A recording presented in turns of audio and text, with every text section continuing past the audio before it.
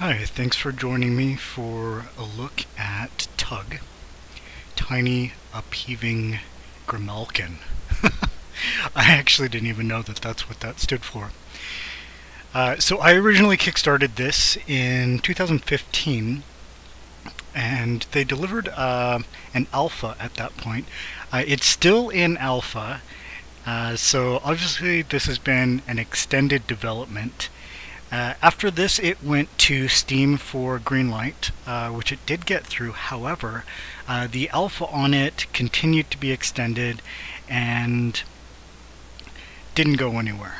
Um, similar to some of the other games uh, that I've seen through Kickstarter, that I, I, think it's either inexperience of the development team or maybe it's folks who are more art focused rather than having the skill and experiential knowledge to put out a workable game. Uh, because for me, that's that, that line, you know, their, their rollout looks gorgeous. The artwork is fantastic. That's the thing that gets people to buy in and gets you excited about it.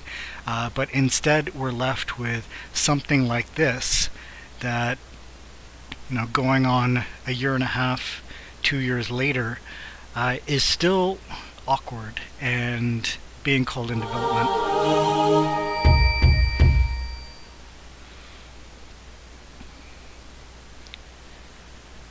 Now I've only played this once since I got it. The first time was early alpha uh, and there wasn't anything I could do. All I could do was wander around essentially. This interface is new, uh, so it's nice to see that there is actually some kind of difference.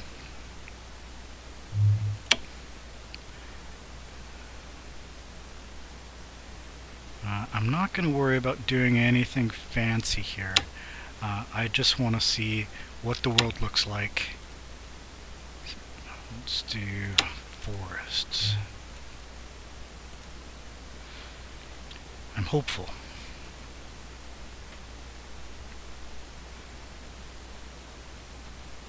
Nice quick loading there after that lengthy update. So the world looks significantly different, uh, which is great. Still really rough, uh, but as far as the voxel style world, not bad. I don't actually know... Oh, is this a, punching interaction? Oh, maybe not. Okay.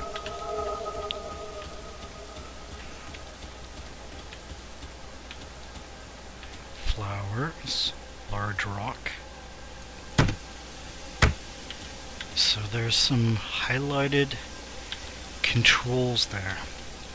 I should probably look up what those are because is there no control look up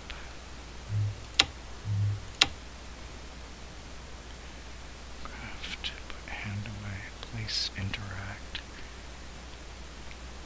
Right click, left click. Huh. Okay.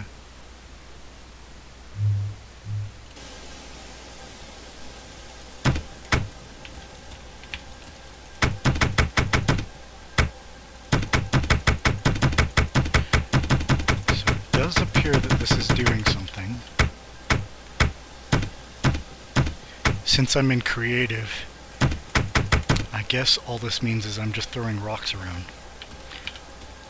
So maybe the scope of this is I can copy a thing and place a bunch of them. Oh yeah, okay, alright. Well let's use this as some exploration then, and I'll switch over to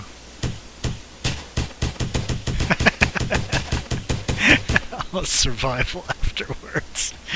Um, so what I had been meaning to say was, uh, this was through the Greenlight process in Steam, and the reviews were not good.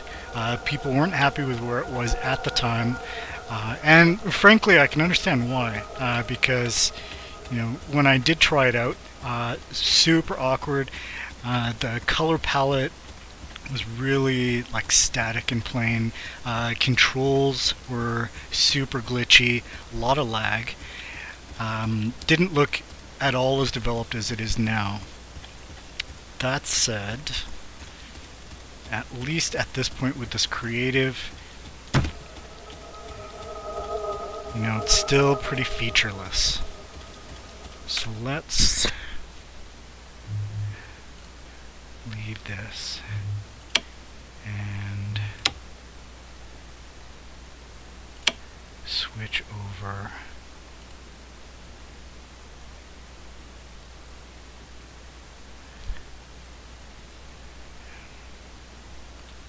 it'd be good if I'd actually paid attention to that. Uh, so let's switch over to, can I change that while in game? No? Travel in circle again.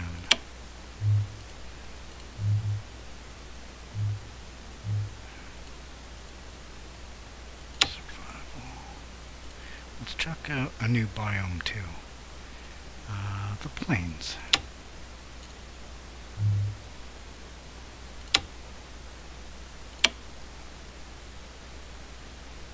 They've made the interface a lot clickier as well, more defined. Good to see. So work has continued on it, which I appreciate. Hmm. But just looking at this, you know, obviously it's still alpha. Like the lighting is pretty terrible, no discernible shadows.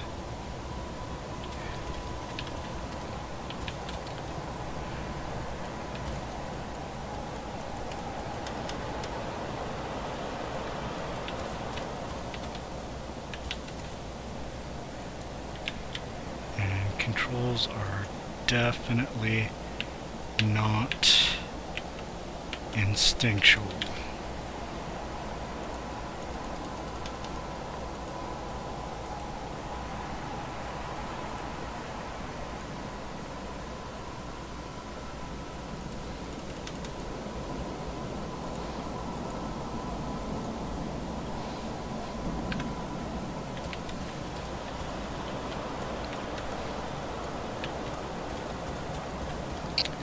Glad there's running available. The games that don't offer running drive me crazy.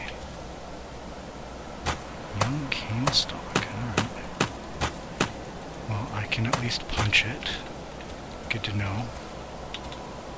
Gourd vines. So, I mean, some elements of it are attractive. Like, I like the look of the gourd.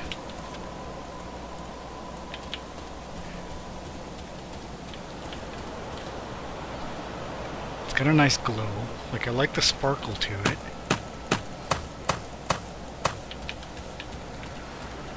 There's another one of those hammer rocks. This was that stone that I was throwing around. Now, if you look at the handprint down below, it's a four-fingered handprint.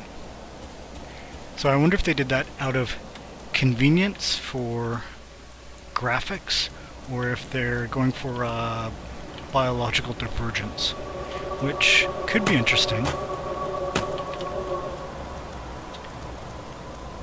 Now this is supposed to be an open world sandbox, described as RPG, although I suspect that that's more just a descriptor rather than an actual role-playing game.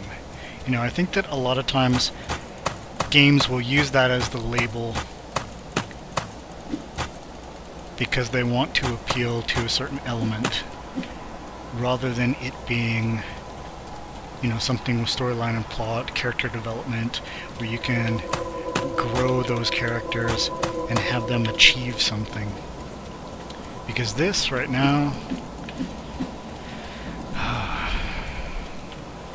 it's not going to stay interesting for very long.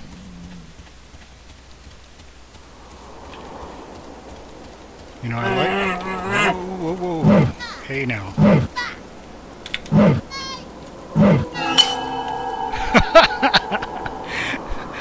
um, okay, well, that's a creepy horned creature. I like the glowing eyes. I'm glad something unexpected happened. Spawned in the same place, so a little bit of a view of the valley there. Now for anyone who's watched some of my other videos, or who knows me in life really, um, you'll note that my patience does tend to be a little bit thin. Uh, I want there to be payoff in a game. You know, I'm putting in time, I want it to be of value to me. Right now, you know, yes, this is still early access. It's alpha, it's still in development, despite the extensive timeline on it. You know, it's good to see that they've put in work. However, it's not going to be worth my time to continue to play for any length of time. You know, it's more worth doing an occasional check-in to see what progress has been made. This little dude. I don't know if they're coming for me or if that's just their wandering path. Uh, so I think I'm going to end this now. And, oh. So don't walk into the prickly pear cactus. Just life advice. Um, but uh, I'll check in periodically. You know, similar to a couple of the other uh, Kickstarter alpha games that I've got. Uh, you know, I invested in them. I'm curious about their progress. Yes, I'm critical, with good reason. You know, I'm looking for a game that is worth my investment, uh, but also that's worth my time. You know, and I think that that should be true for anyone, really. So, it's not terrible, uh, but it's not something that, as it's presented now, it's not something that I would spend money on. But thanks for joining me. Uh, if you've liked what you've seen so far, uh, please give me a like and subscribe for more. I'll definitely be following up with more videos.